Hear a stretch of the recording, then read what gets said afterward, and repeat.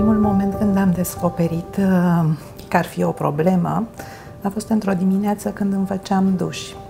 Și uh, firește că la absolut orice duș și trecând cu mâna peste lamina sânului, simțeam dacă este ceva, dar acum am făcut o ridicare ușoară a sânului și atunci am simțit că este ceva neregulă și că apar două mingiuțe acolo. Am contactat uh, un centru unde să pot să-mi fac o ecografie, numai că la ecografie, uh, doamna doctoră, când a început să-mi fac uh, consultul, același lucru mi-a spus. Zice, mi se pare că nu este ceva în regulă aici și ar trebui să vă programați repede pentru o mamografie. Întotdeauna femeia simte când are o problemă, are un al șaptelea simț. Și atunci nu mai există programări în ceea ce ne privește.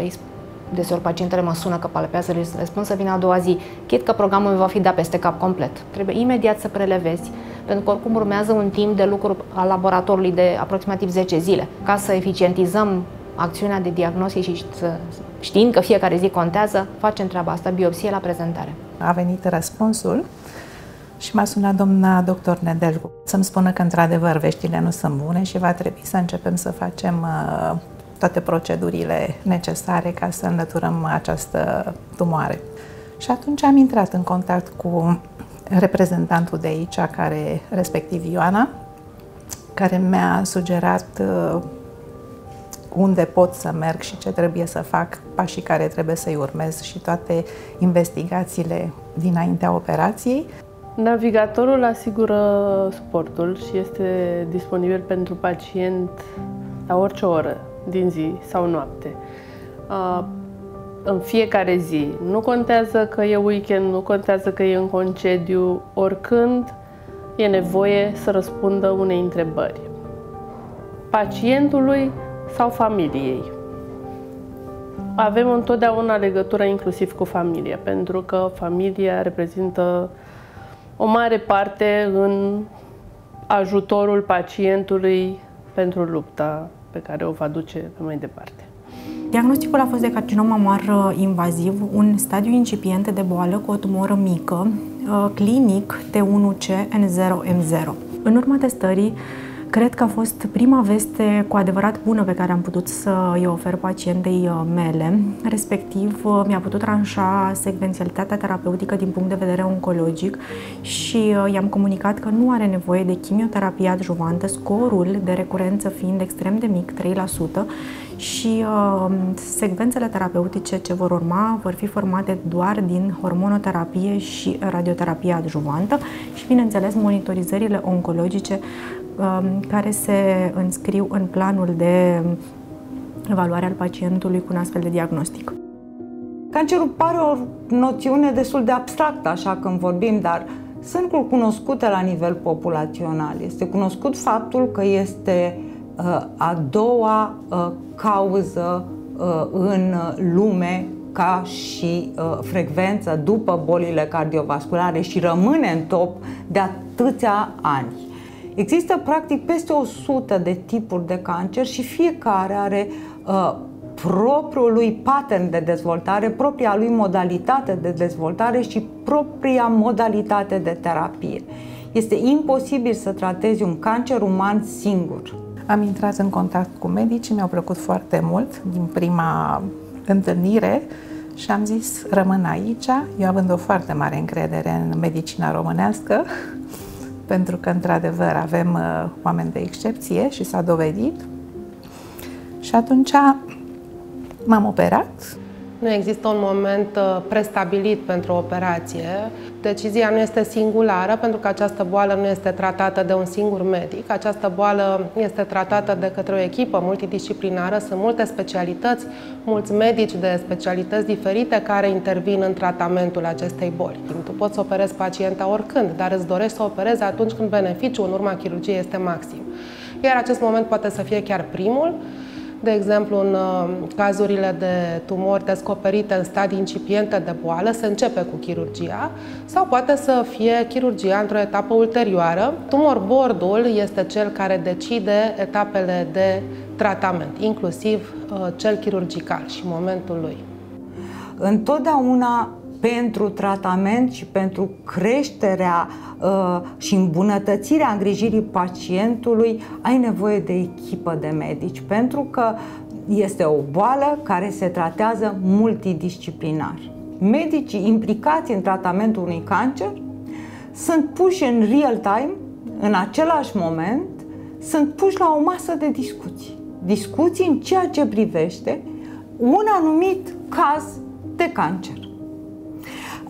Aceasta înseamnă că experții care participă la tratamentul pacientului respectiv practic reușesc dezideratul major în, în terapia actuală să uh, uh, se reunească, să aibă o expertiză, la fiecare la nivelul propriei expertize, a propriei specialități, a unor medici cu specialități complementare care vor uh, interacționa printr-un flux permanent de comunicare de informații, ceea ce uh, are dublu beneficiu. Se pun la aceeași masă și fac un schimb de informații în scopul uh, obținerii unei concluzii în ceea ce privește tratamentul și necesitățile pacientului, pentru că tumor bordul nu se referă numai la uh, necesitățile terapeutice în accepțiunea clasică, Tumor board se referă, de exemplu, la necesitățile nutriționale ale pacientului, la, uh, nutrițion, la, la necesitățile psihologice ale pacientului.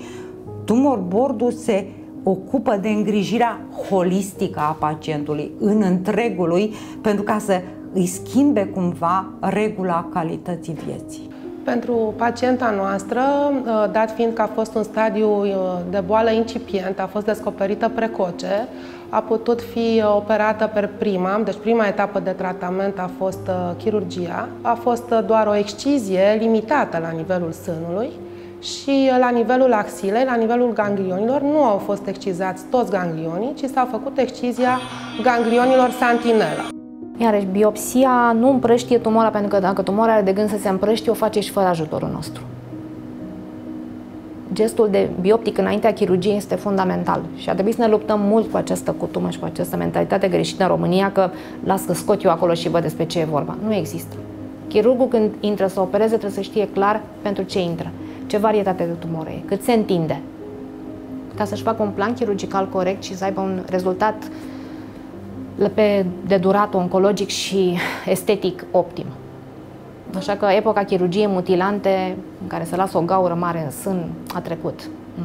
nu mai diagnosticăm tumora când deja există o invazie locală, o diagnosticăm uneori chiar și atunci când nu este palpabilă. Al doilea motiv este că dezvoltarea tratamentelor sistemice a făcut posibilă reducerea în dimensiune a tumorii înainte de intervenția chirurgicală. La aceasta se adaugă și dezvoltarea chirurgiei conservatoare a sânului. Folosind tehnicile moderne, scoatem doar un ganglion în cele mai multe cazuri de cancer precoce, în așa fel încât să avem o evaluare corectă a ganglionului axilar. Iar ICG-ul, mai mult decât celelalte metode, ne ajută la protejarea, la identificarea și conservarea vaselor limfatice ale membrului toracic care ajung la nivelul axilei și care trebuie păstrate pentru a evita aceste complicații. Evităm apariția complicațiilor, a necrozelor postoperatorii, a seroamelor, pentru că toate aceste complicații nu numai că sunt însoțite de durere, de reintervenții, de alte proceduri chirurgicale, dar întârzie aplicarea celorlalte tratamente necesare vindecării cancerului de sân ca atare, evoluția, recuperarea pacientei a fost uh, rapidă, uh, a fost internată doar două zile, uh, durerile au fost minime, și-a reluat imediat activitățile obișnuite, nu a fost restricționată, viața ei nu a fost decât minim impactată de intervenția chirurgicală, fără complicații și fără probleme pe termen lung legate de mobilitatea brațului, al umărului, de uh, cu riscuri minime de a dezvolta brațul gros, linfedemul de braț, cum spunem noi, uh, cicatrici puțin vizibile și, practic, volumul și simetria sânilor păstrată. Purtăm o legătură cu pacienta, uh, vine regulat la controlele anuale, dumneai având deja un an de la intervenția chirurgicală, am rărit vizitele, însă o supraveghem îndeaproape, noi chirurgi, împreună cu medici oncologi. Chiar după operație, după ce am ieșit din uh, uh mă rog, acea anestezie, am fost condusă de către o asistentă la cameră, m-a rugat să nu mă ridic din pat până dimineața, probabil ca să nu am uh, stare de amețeală sau ceva, să fiu controlată. Dar după ce am făcut plimbarea de dimineață împreună, Ă, n-am mai vrut să stau în pat, am vrut să stau pe fotoliu, să vorbesc cu prietenii pe WhatsApp video, să mă spăl pe dinți, să mă pieptăn, să mănânc și a doua zi chiar m-am dus la coafor, adică după ce am ieșit din spital, pentru că mi era mai greu într-adevăr să mă spăl, să-mi spăl părul singură. În ultimul timp și în ultimii ani, psihologia a beneficiat de o expunere mai mare pe canalele media și a încurajat sau a descurajat mai degrabă convingerea aceea că doar persoanele care suferă de afecțiuni din sfera patologică pot apela la astfel de servicii. Această o încredere o putem observa și în rândul pacientelor cu cancer mamar, unde acestea apelează în ultimul timp cu o mai mare încredere și deschidere, dorind să vorbească despre acele emoții și trăiri. După 40 de ani, o mamografie, măcar la 2 ani, e fundamentală. Mamografia nu dă durere și nu iradiază atât de mult. Clar. Ori o mamografie la 2 ani este un gest de bun simț pentru orice femeie, orice femeie. Ca și cum te duce la stomatolog să te controlezi. Da? Pentru că odată a apărut o carie, e bine să o tratezi la timp, nu când ți-a atins pulpa dintelui și când trebuie să scoți dintele. Așa e și aici. Putem găsi tumori mici. Cea mai mică tumoră pe care am găsit-o a avut, nu știu, 2 mm. Și pacienta aia a scăpat ca și cum ar fi avut o mică carie. Da? Pentru că o tumoră de 2 mm presupune scoatere chirurgicală și un pic de radioterapie și femeia poate să-și vadă de viață liniștită și supraviețuirea este garantată. Am foarte mulți prieteni care sunt tineri, 30, 40 de ani și mi-au fost foarte aproape cu toții, dar prin telefoane, prin mesaje, prin încurajări, dar chiar ei au rămas așa, zice, măi, ne-ai schimbat viziunea de viață, adică nu mai suntem atât de speriați dacă se întâmplă ceva sau, adică știm că trebuie să mergem la control periodic, să ne facem analizele și să prevenim eventual dacă apare vreo problemă. Dar nu mai suntem atât de speriați, zice, pur și simplu ne-ai uimit, ai fost o lecție de viață pentru, pentru noi. Și m-am bucurat într-un fel.